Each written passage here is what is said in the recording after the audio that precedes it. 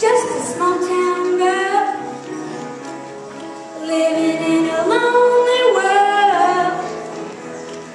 She took the midnight train going anywhere. Just to see boys, for the race herself to Troy. He took the midnight.